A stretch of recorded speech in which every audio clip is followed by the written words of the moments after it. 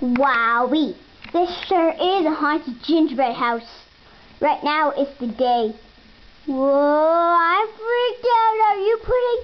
Of course I am, Max. Ooh, beware.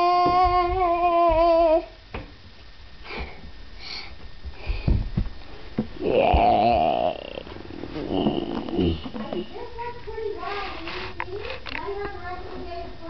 Mm-hmm. Yeah. Ah! Ah! Don't be afraid of me.